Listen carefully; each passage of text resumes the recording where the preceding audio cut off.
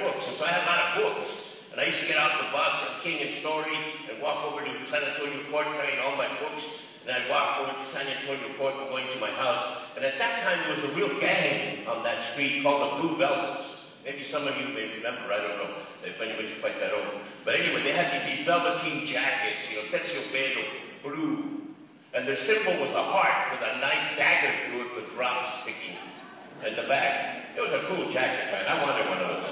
But, but you know, you, you had to be in the gang. You get one. I didn't want to join a gang. I didn't have time to join the gang. But they kept eyeing me, coming, you know, every day with all my books during the week. And so one day they finally had enough, and they gathered in the sidewalk and circled me. They stopped me.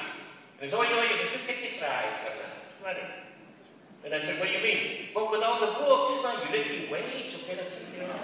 And I said, no, no, this is my wieder unter Druck gepresst wird.